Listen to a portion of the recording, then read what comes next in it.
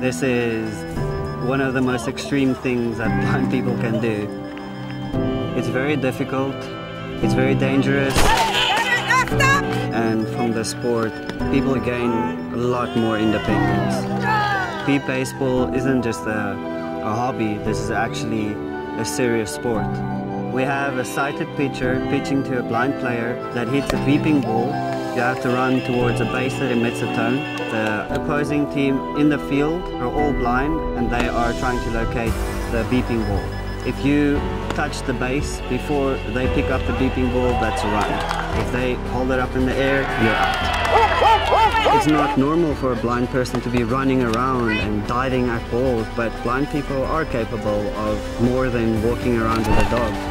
My name is Jason Esterhuizen and I'm a blind baseball player for the San Gabriel Valley Panthers. I don't have a nickname yet, I'm just Jason.